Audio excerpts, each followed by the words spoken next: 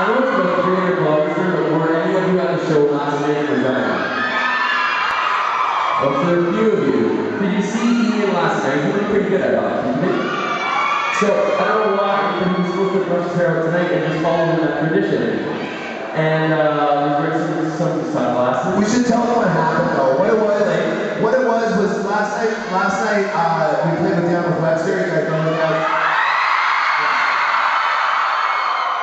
the drummer Marty looks kind of like Ian with the hair and the glasses, but we wanted, we wanted, we made Ian last night comb out his hair, take off his shirt, and put on some giant glasses to look like Marty. And then had Marty come on stage and do a little comparison. And you were supposed to do that.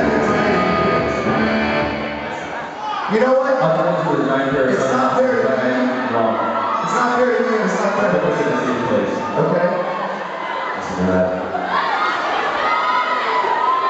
Does anybody have a hair pick? You were gonna put, put that up brush, comb, something you could borrow going on like that.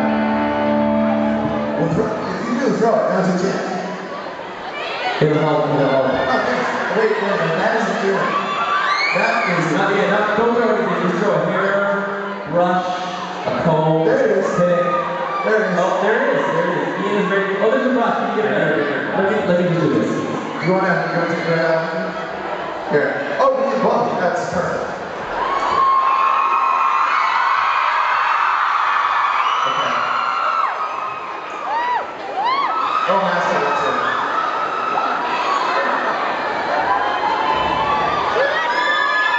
Is looking good, guys?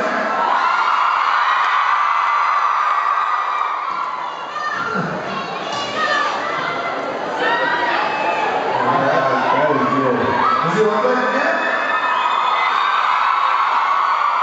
What you don't know is that Mike and Josh actually own a barbershop together. It's a salon. Uh, it's downtown Vancouver. And uh, we charge top dollar for that kind of work. We specialize in big hair. Just like that. So if you want this back, I've already paid for it. But I can just right over. You just I that. hope gets to the person. Thank you very much. It's like you're better off with me than you said that compared to what? All we need to do is get you one of those Down With Webster leather jackets. Dude, I know. And then we can put it in. All right, guys. Okay, you guys look just like him. Come on.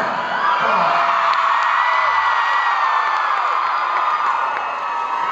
And the one thing that's better that we don't know that there are no mosquitoes. Yeah. He was eaten alive.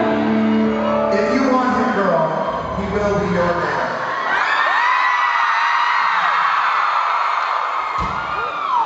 Okay.